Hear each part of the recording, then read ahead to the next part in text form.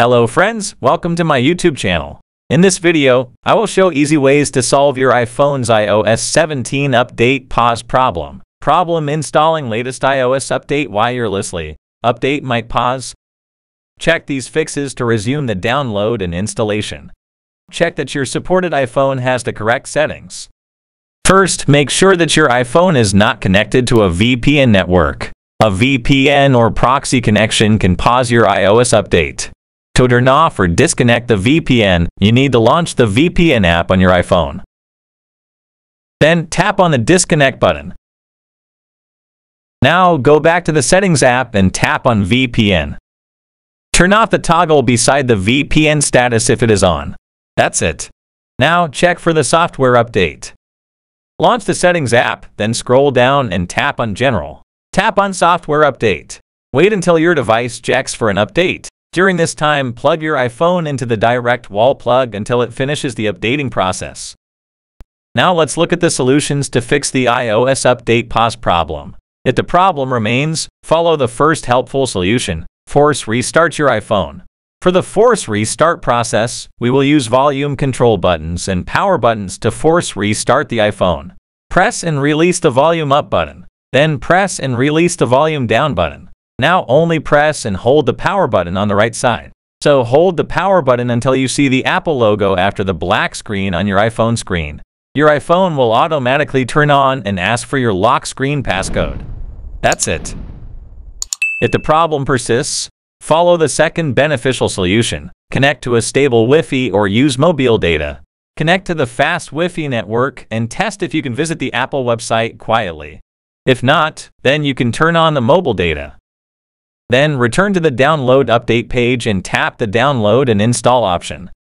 If you can't download the update and it pauses, follow the third frequently used solution.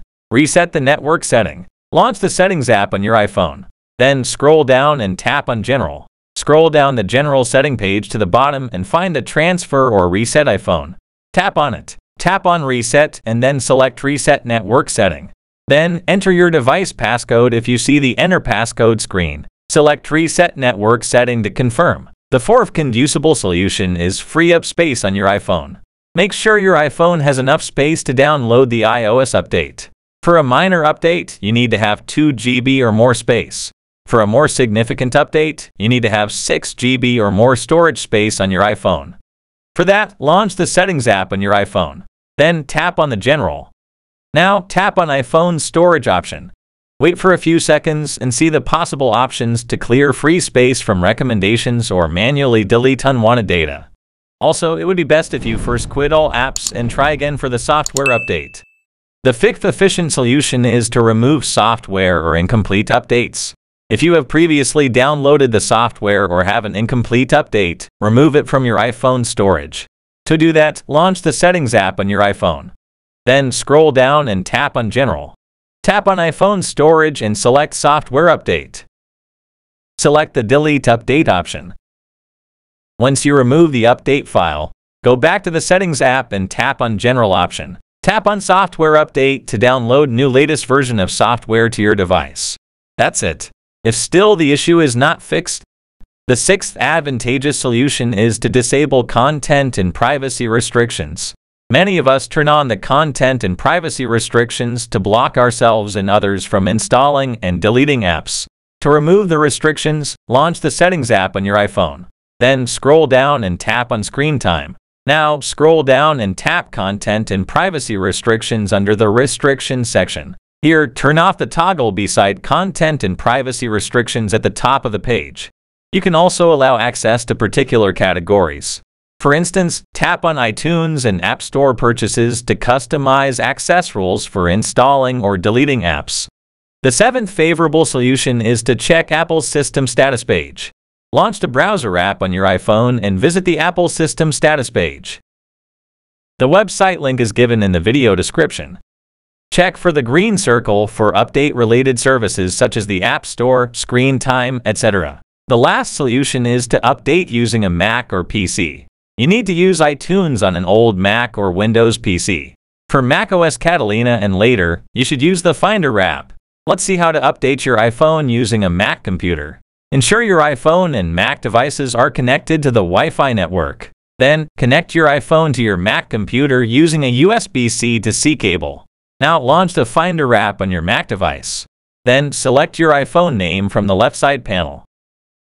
In case you see a pop-up message on your iPhone or Mac screen, select Allow on Mac and select the Trust option on iPhone to continue.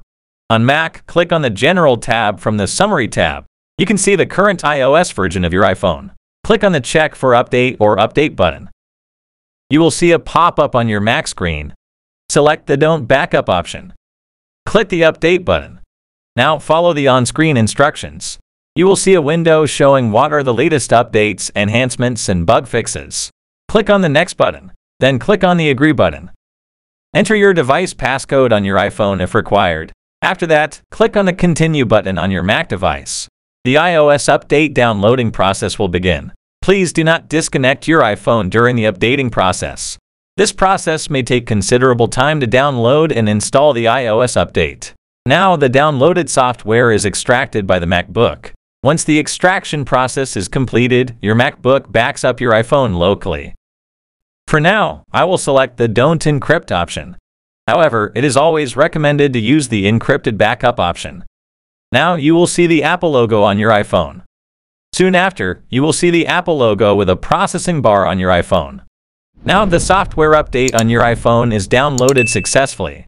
Thanks for watching. Please like and subscribe to our channel for the latest tips and tricks videos.